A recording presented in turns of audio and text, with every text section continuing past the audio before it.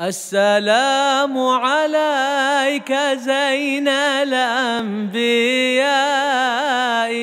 السلام عليك السلام عليكم ورحمة الله وبركاته بسم الله والصلاة والسلام على رسول الله وعلى آله وصحبه ومن والاه For tonight's reflection, we're going to be looking at verses 95 and 96 from Surah Al-An'am, found in the seventh juz.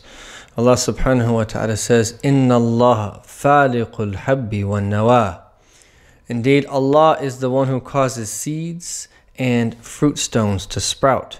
يخرج الحي من الميت ومخرج الميت من الحي. He brings forth the living from the dead and the dead from the living. ذلكم الله. That is Allah. فَأَنَّا تُؤْفَكُونَ How can you then be deluded from the truth?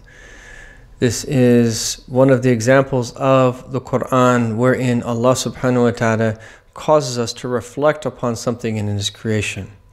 A natural way of when we look around and see how things are in the world that Allah subhanahu wa ta'ala has originated, and when we reflect deeply upon that, it gives us certainty that there is a creator who brought all of that into existence and every effect of the secondary cause ultimately we come to the conclusion that Allah subhanahu wa ta'ala is does everything. He is the one who causes all causes and causes all causes to have their effects subhanahu wa ta'ala. So in this verse that Allah ta'ala says Allah faliq al-habbi wan nawa. So the hab is a seed, and the nawa is a fruit stone, or particularly a date stone. And around this time, we oftentimes are planting seeds in our homes that we're then going to replant outside in our gardens.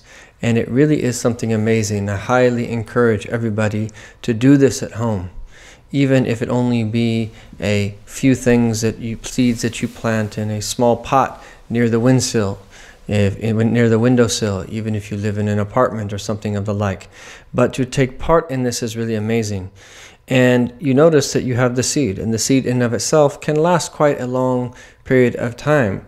But if you don't put it in soil, if you don't water it and give it light, it remains a seed.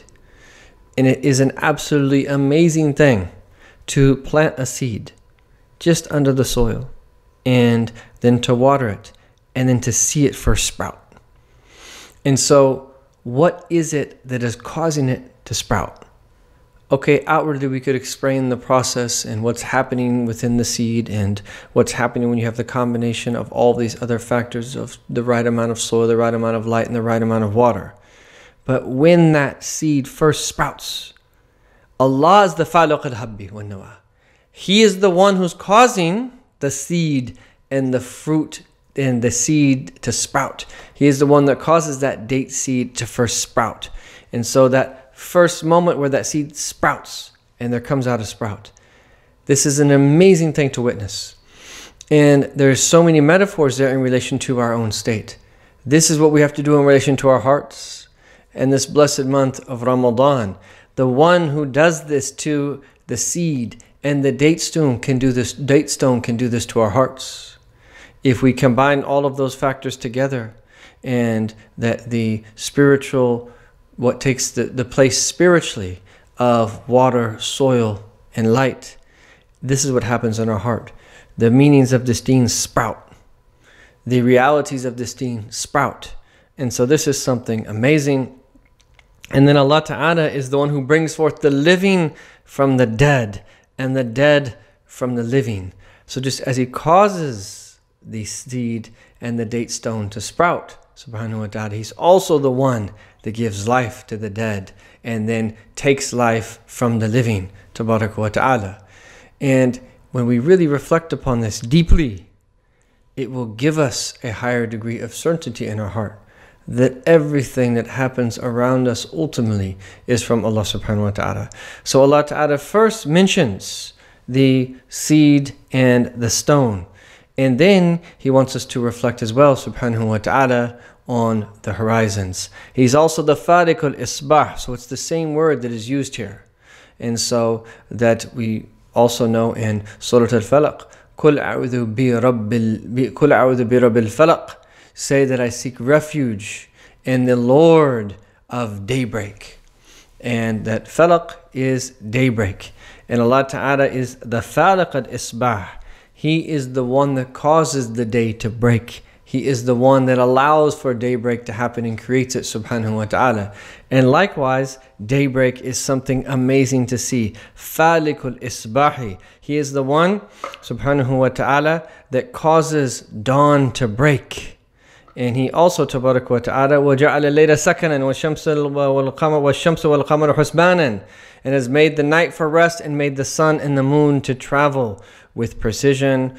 وجعل وجعل الليل سكنا وجعل الشمس والقمر حسبانا ذلك تقدير العزيز العليم that is the design of the almighty the all-knowing so we are oftentimes prevented from this because of all of the city light but if we ever go out and observe daybreak and you become accustomed to witnessing this happening la ilaha illallah it is incredible and how there's what is called Fajr Kadhib, false dawn, which is that it seems to be a light almost in a perpendicular to the horizon. And then that comes down, and then there is darkness, and then daybreak will spread like a bird's wings on the horizon. And so that first moment when light breaks, just as that seed sprouts, Allah is the Faliq al-Isbah. You could explain scientifically how this is all happening and so forth, but Allah is the one who's causing that all to happen, and He's the one that is allowing us subhanahu wa ta'ala to see it happen. And so when we understand that He's the Faliq Faliq al-Habi wa nawa and He subhanahu wa ta'ala is the Faliq al-Isbah, the meaning that we take from there is He can also subhanahu wa ta'ala bring our hearts to life. And this is what we want in the special month of Ramadan, is for our heart to be enriched with the meanings of this deen, to be people of substance, to be people who are firmly rooted in the sunnah of our Prophet wasallam, who experience the blessings of Ramadan and don't just fast outwardly, but experience this blessed month and experience the mercy of this month and to long for this month and don't ever want this month to end. If our iman is strong, we want every month to be the month of Ramadan. And if we can start tasting the sweetness of our fast, surely this will be our state. May Allah ta'ala bless us to reflect deeply upon His book and bless us to be able to understand its meanings and to put them into practice. May Allah ta'ala give us tawfiq. Wa sallallahu ala sayyidina Muhammadin wa ala alihi wa sahbihi wa sallam. Walhamdulillahi rabbil alameen.